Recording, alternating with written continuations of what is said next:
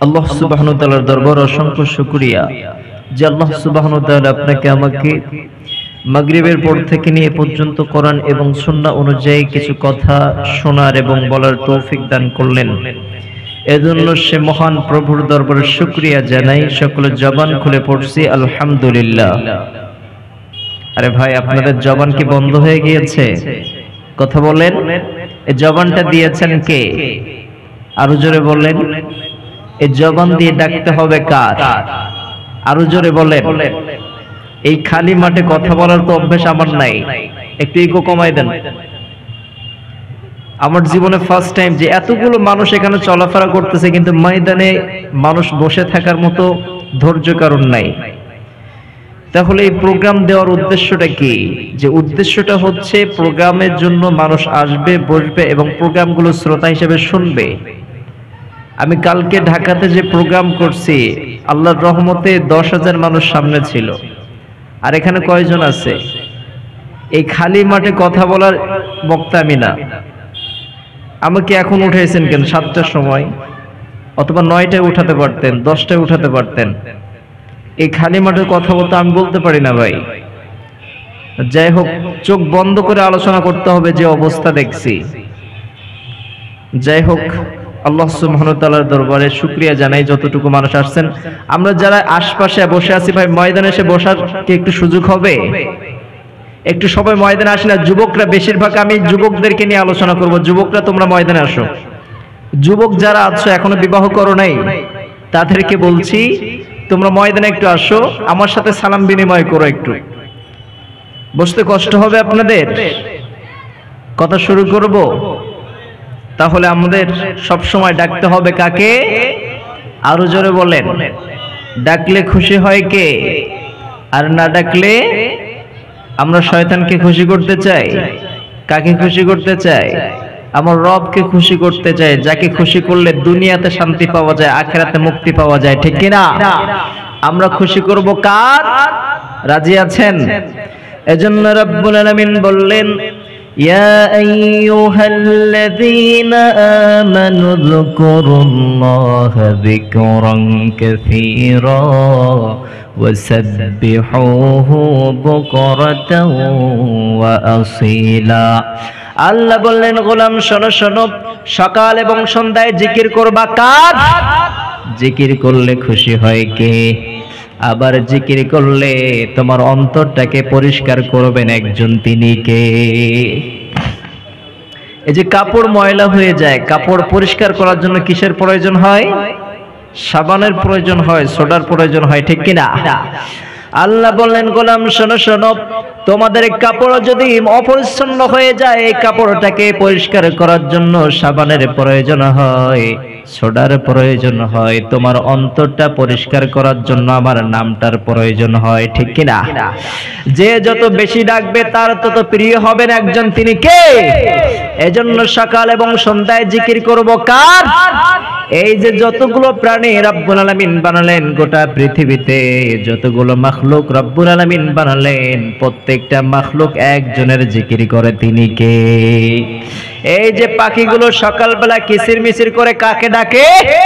আবার এই যে গোটা পৃথিবীতে যত তরুলতা রব্বুল আলামিন বানালেন, গাছের পাতা বানালেন, সব তরুলতা গাছের পাতাগুলো জিকিরি করে কার?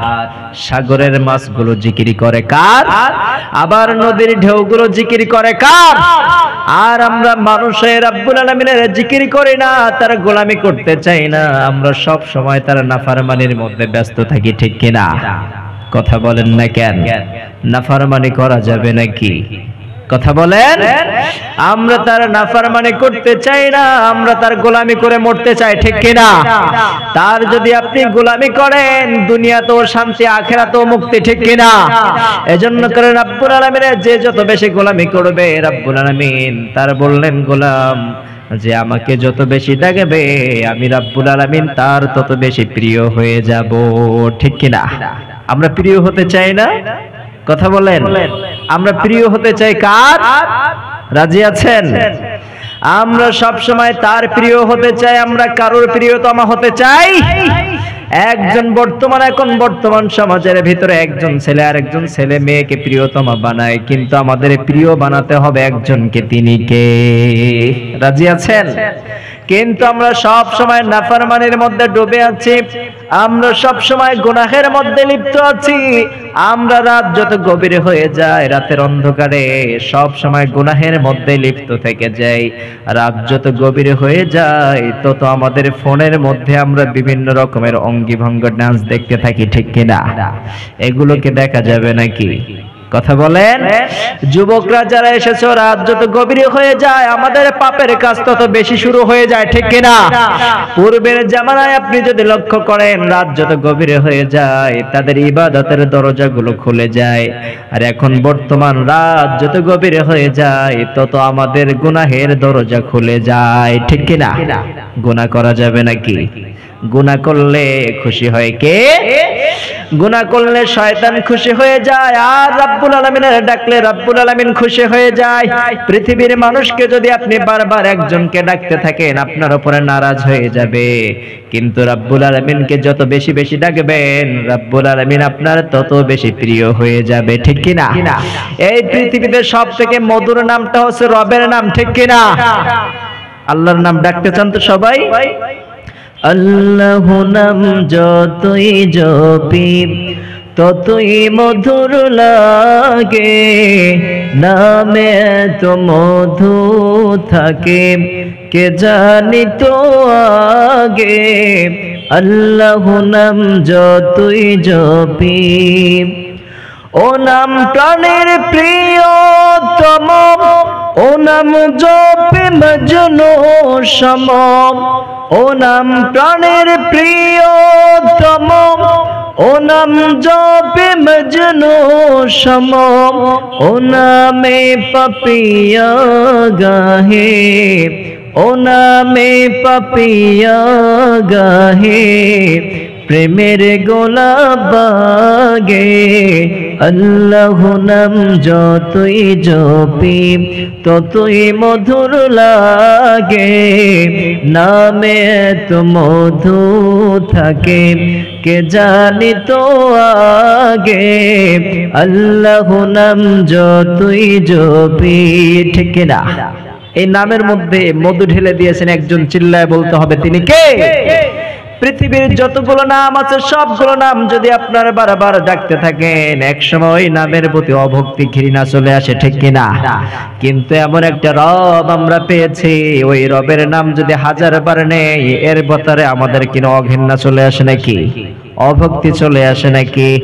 আপনি যতবার ডাকবেন, আপনার জবানটাকে পরিষ্কার করে দেবেন একজন তিনি কে? আবার যত বেশি কোরআন পড়বেন, আপনার সিনাটাকে প্রশস্ত করে দিবেন কে? এজন্য রাব্বুল আলামিন বললেন, সকাল এবং সন্ধ্যায় তোমরা কোরআন পড়বা, সকাল এবং সন্ধ্যায় জিকির করবা। রাব্বুল আলামিন বললেন, এই কোরআন যত যে বেশি পড়বে, রাব্বুল আলামিন তার গুনাহের দরজা বন্ধ করে দিবেন, নেকির দরজা খুলে দিবেন কে? এই কোরআন যে যত পড়বে তার হৃদয়টাকে প্রশস্ত হয়ে যায়। এজন্য রাব্বুল আলামিন বললেন, তোমরা এই কোরআনকে আঁকড়ে ধরবা, কোরআনকে অনুসরণ করতে বলেছেন কে? কোরআনকে অনুসরণ করার দরকার আছে না নাই? কথা বলেন না কেন? কোরআনকে যারা অনুসরণ করবে, তাদেরকে জান্নাত দেবেন একজন তিনি কে? আর এই কোরআনের আইন বাদ দিয়ে মানুষের আইন যারা মেনে নেবে, তাদেরকে জান্নাত দিবেন নাকি? কথা বলেন। কোরআনের আইন মানবে যারা, জান্নাতে প্রবেশ করবে। জান্নাতে প্রবেশ করবে তারা। এজন্য কোরআনের আইন বাস্তবায়ন করার দরকার আছে না নাই? যুগে যুগে যত মানুষ এসেছে, এই কোরআনটা এমন এক সময় এসেছে, যেই সময় জাহিলিয়াতের যুগ ছিল। রাব্বুল আলামিন বললেন, এই কোরআনটাকে আমি কি জন্য পাঠিয়েছি মুমিন? শোনো শোনো। আল্লাহ বললেন, হুয়াল্লাযী ইউনাজ্জিলু আলা আবদিহি আয়াতিন বাইয়িনাতিল ليخرجكم من الظلمات إلى النور. বললেন, গোলাম, শোনো শোনো। এই কোরআনটাকে আমি তোমাদের কাছে কি জন্য পাঠিয়েছি? যেই সময় মানুষগুলো অন্ধকারের মধ্যে ছিল। যেই সময় মানুষগুলো পথ ভুলে অন্য পথে চলে যেত, যেই সময় মানুষ মানুষকে হত্যা করত, যেই সময় মানুষগুলো অন্ধকারের মধ্যে নিমজ্জিত ছিল নূর। আমি ওই সমস্ত মানুষগুলোকে, পথহারা মানুষগুলোকে, পথ ভোলা মানুষগুলোকে আলোর দিকে নিয়ে আসার জন্য এই কোরআনটাকে নাজিল করেছি। সুবহানাল্লাহ পড়েন। এজন্য করে রাব্বুল আলামিন বললেন, এই কোরআনের অনুসরণ করবে যারা জান্নাতে প্রবেশ করবে। তারা আমরা সব জান্নাতে যেতে চাই না, জাহান্নামে যেতে চাই? কথা বলেন না কেন? আমরা সবাই জান্নাতে যেতে চাই, ঠিক কিনা? রাব্বুল আলামিন বলেন, গোলাম, শোনো শোনো, তোমার সামনে আমি দুইটা পথ ওপেন করেছি, কয়টা? দুইটা পথ রাব্বুল আলামিন ওপেন করে দিয়েছেন। এক নাম্বার হলো, ফারিকুম ফিল জান্নাহ, আর একটা পথ হচ্ছে ফারিকুম ফিস সাঈর দুইটা পথ রাব্বুল আলামিন তোমার সামনে ওপেন করে দিয়েছেন। ইচ্ছা করলে তুমি জান্নাতের পথ অবলম্বন করতে পারবা, কোনো সমস্যা? আবার ইচ্ছা করলে তুমি জাহান্নামের পথ অবলম্বন করতে পারবা, কোনো সমস্যা নাই। আল্লাহ বললেন, গোলাম, তোমার সামনে দুইটা পথ দিয়েছি। একটা হলো জান্নাতের পথ, আর একটা হলো জাহান্নামের পথ। ইচ্ছা করলে তুমি জান্নাতের পথ অবলম্বন করবা, কোনো বাধা নাই। আবার ইচ্ছা করলে জাহান্নামের পথ অবলম্বন করবা, কোনো সমস্যা নাই। আসছে মাইক্রোফোনে একটু কাছে কথা বলে আর সবাই নামাজ পড়তে গেছে আধ ঘণ্টার মধ্যে লোক এজন্য রাব্বুল আলামিন বললেন, তোমাদের সামনে দুইটা পথ ওপেন করলাম। আল্লাহ বললেন, ইচ্ছা করলে বান্দা জান্নাতের পথ অবলম্বন করবে। আবার ইচ্ছা করলে বান্দা জাহান্নামের পথ অবলম্বন করবে। আমরা কোন পথে যেতে চাই? কথা বলেন। আমরা জান্নাতের পথ অবলম্বন করতে চাই। এজন্য করে বিশ্বনবী বুখারী বর্ণায়, এক হাদিসের বর্ণায় বললেন যে, জাহান্নামের শাস্তির কোনো শেষ নাই, আর জান্নাতের শান্তির কোনো শেষ কেয়ামতের ময়দানে রাব্বুল আলামিন দুইজন ব্যক্তিকে উঠাবেন। একজন ব্যক্তিকে উঠাবেন, যেই ব্যক্তি সারা জীবন দুনিয়ার মধ্যে শান্তিতে ছিল, দুঃখ বলে কোনো জিনিস পায় নাই, কষ্ট বলে কোনো জিনিস দেখে নাই। এই ব্যক্তিকে এক সেকেন্ডের জন্য জাহান্নামে ঢুকানো হবে। দুনিয়ার মধ্যে সে সব সময় সুখের মধ্যে ছিল, দুঃখ জিনিস দেখে নাই? সব সময় শান্তির মধ্যে ছিল, কষ্ট কি জিনিস দেখে? এই ব্যক্তিকে এক সেকেন্ডের জন্য জাহান্নামে ঢুকাবেন কে? এক সেকেন্ড পরে জাহান্নাম থেকে বের করবেন।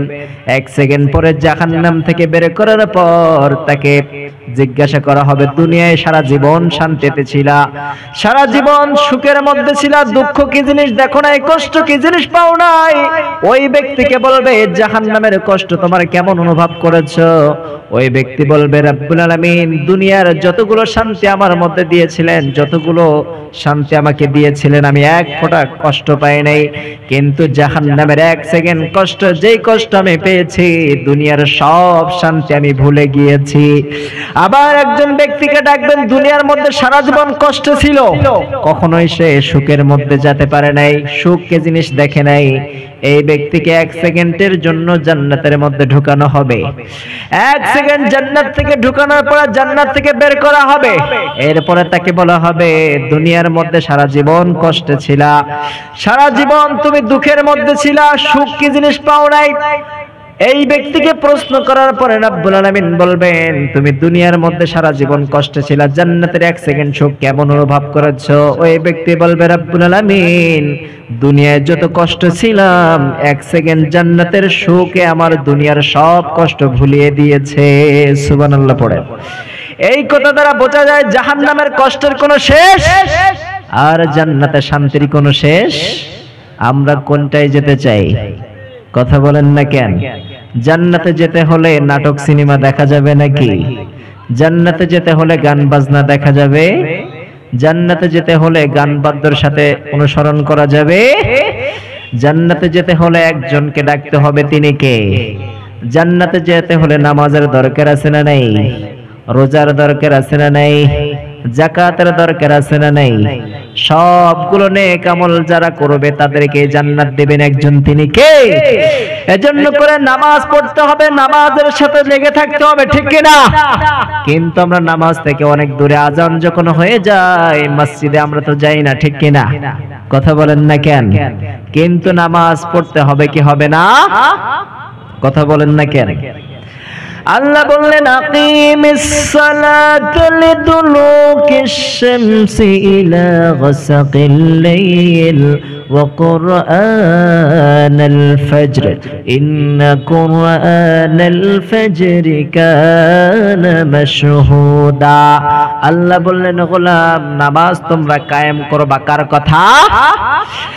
এমন দলের সাথে আমরা সম্পর্ক রাখি তার নামাজের কারণে সাথে সম্পর্ক। এমন নেতার সাথে সম্পর্ক রাখি যারা পশ্চিম কি জিনিস চেনে? এমন নেতা আছে না নাই? অজু জানে না গোসল জানে না নামাজ জানে না রোজা কীভাবে রাখতে হয় জানে না এমন নেতা আছে না নাই? আপনাদের ইন্ডিয়ায় না থাকলে আমাদের বাংলাদেশে অভাব নাই। ইন্ডিয়া আছে নাকি? আমাদের বাংলাদেশে এমন নেতা আছে যারা উজু জানে না, গোসল জানে না, এমন নেতা আছে না নাই? গোসলের কয় ফরজ, উজুর কয় ফরজ, এটাও জানে?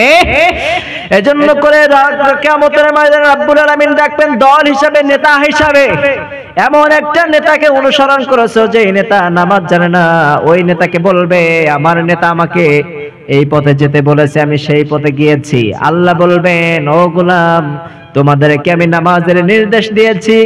আর ওই বান্দারা বলবে, রব্বুল আলামিন আমার নেতা আমার হুকুম দিয়েছে এই কাজ করার জন্য। আর নেতারা যখন বলবে, ডাক দিবে, সব নেতা হিসেবে ডাকবেন। এই নেতাগুলো তখন জবাব দিবে, আমরা তো হাদিস দিয়ে তোমাদেরকে ডাকি নাই, কোরআন দিয়ে তোমাদেরকে ডাকি নাই, রসুলের কোনো থিওরি দিয়ে তোমাদেরকে ডাকি নাই, সাহাবায়ে কেরামের জীবনী দিয়ে তোমাদেরকে ডাকি নাই, এমনি ডাক দিয়েছি, তোমরা দলে দলে হাজির হয়েছো, ঠিক কিনা? কিন্তু যখন ওলামায়ে একরাম কোরআন দিয়ে, হাদিস দিয়ে নামাজের জন্য ডাকে দেয়, আমরা সেই পথে যাই, কিন্তু শয়তান আমাদেরকে কুমন্ত্র দেয়, আছে না নেই? কথা বলেন না কেন? আছে না নাই? এজন্য করে নেতারাও নামাজ পড়ে না, ওই দলের সাথে আমাদের কোনো সম্পর্ক? যারা কোরআনের সাথে সম্পর্ক করবে, তাদের সাথে সম্পর্ক রাখার দরকার আছে না নাই? ইসলামের সাথে যারা সম্পর্ক করবে, তাদের সাথে সম্পর্ক রাখার দরকার আছে না নাই? কথা বলেন। কাদের সাথে সম্পর্ক রাখব? কথা বলেন না কেন? আমাদের বাংলাদেশে তাফসির মাহফিল বন্ধ করে এমন নেতা দেখছেন নাকি আপনারা?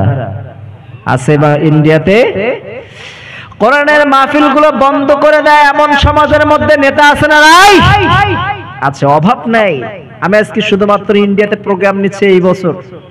কারণ এই বছর ইন্ডিয়াতে প্রোগ্রাম নেওয়ার কারণ হচ্ছে একটাই, যে আমি যতগুলো প্রোগ্রাম বাংলাদেশে নেওয়া হচ্ছে, সবগুলো প্রোগ্রাম বন্ধ করে দিচ্ছে।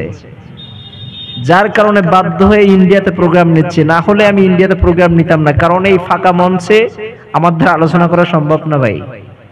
কারণ বিগত মাসে আমি বাংলাদেশে প্রায় প্রোগ্রাম নিয়েছি তিরিশ দিনে তিরিশটা। মাত্র তেরোটা প্রোগ্রাম হয়েছে, সতেরোটা প্রোগ্রাম বন্ধ হয়েছে।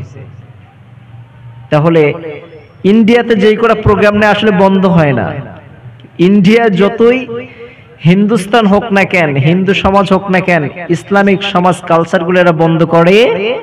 কিন্তু আমাদের বাংলাদেশে যতগুলো প্রোগ্রাম হয় হাফ হাফটাও হচ্ছে না এখন বর্তমান, সামনে ইলেকশন যার কারণে প্রোগ্রামগুলো অসম্ভব বন্ধ হচ্ছে। এত প্রোগ্রাম বন্ধ হচ্ছে কারণ যারা একটু ফেমাস বক্ত হয়ে গিয়েছে, যাদের আলোচনা মানুষ শুনতে আসে, তাদের কথা শুনলেই মানুষ দেখবে যে আওয়ামী লীগ থেকে ইসলামের দলে যখন আসতেছে তখন ওই প্রোগ্রামগুলো বন্ধ করে দিচ্ছে। কিন্তু ইন্ডিয়াতে এই সমস্যা আছে নাকি? নাই। কিন্তু আমাদের বাংলাদেশে এত বড় মুসলিম কান্ট্রি হওয়ার পরেও নিরানব্বই পার্সেন্ট না হোক ছিয়ানব্বই পার্সেন্ট সাতানব্বই পার্সেন্ট মুসলমান আমাদের বাংলাদেশে বসবাস করে। এরপরেও দেখা যায় যে আমাদের বাংলাদেশে ইসলামের কথা বলা যায় ধর্মীয় আলোচক যারা আছে, এরা যদি ধর্মের জ্ঞান দেয় তাদেরকে ইসলামিক কথা বলে কোরআন দিয়ে ডাকে, তাদেরকে বন্ধ করে দেয় এমন নেতা আছে না নাই? আছে। এই সমস্ত নেতাদের সাথে আমাদের কোনো সম্পর্ক? সম্পর্ক রাখতে হবে ওলামায়ে কেরামের সাথে। রাজি আছেন? কথা বলেন? কিন্তু আমাদের এই তো আলোচনা করতে আমার তো মজা পাচ্ছি না ভাই। এই যে কথা যদি আপনারা না বলেন, যে কজন আছেন, আমার সাথে কথা বলতে কষ্ট হচ্ছে আপনাদের? কথা বলতে কষ্ট হচ্ছে? তাহলে কথা বলবেন একটু আমার সাথে? আমার সাথে শত্রুতা আছে, কার কার হাত উঠান? শত্রুতা নাই? আচ্ছা লেনদেনের লেনদেনের জন্য আমার সাথে কার কার ঝগড়া আছে, হাত উঠান? কারোর সাথে নাই তো? জমি জায়গা নিয়ে মারামারি? অর্থ নিয়ে মারামারি? কোনো কিছু দ্বন্দ্ব নাই, তাহলে আমার সাথে কথা বলতে কষ্ট হচ্ছে? এ জবান দিয়েছেন কে বলেন তো সবাই? জবান খেলে বলেন। আরও জোরে বলেন। একবার ডাক দেন তো ইয়া আল্লাহ। আরও জবান খুলে ডাক দেন ইয়া আল্লাহ। আবার তৃতীয়বার জবান খুলে ডাক দেন ইয়া আল্লাহ।